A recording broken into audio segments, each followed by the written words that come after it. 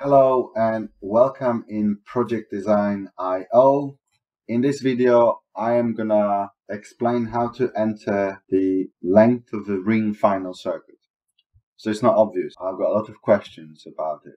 Let's just go through eight ring circuits. So this is ring circuit. I double click on the name and go to the cable tab. What do you need to do when you're selecting a length of the circuit, the design length? This is the full length of the cable from the distribution board all around the ring and back to the board. That's what you need to enter. Let's say from the distribution board to that window I've got 25 meters. Just simplifying, the ring will be 50 meters. That's what you should enter in here, not the, not the one leg of the ring you have to, to enter the whole length of the circuit. So sometimes it's quite long circuit, especially on commercial sites. So let's say 50 meters, for example, in here. You can't use, well, you should not use cables in parallel. That would be incorrect. You don't use that function when you calculate ring circuits. Take that off.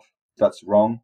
Go to your cable, select the whole run, from the disboards all around the circuits back to the disboards and then the cable sizing, the voltage drop and the fault current calculations take into account the ring circuit typology. for the voltage drop purposes.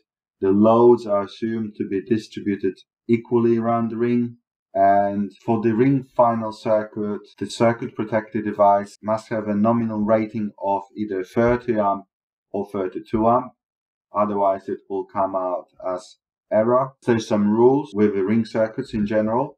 So first of all, the ring circuit must be protected by 30 or 32 amp device.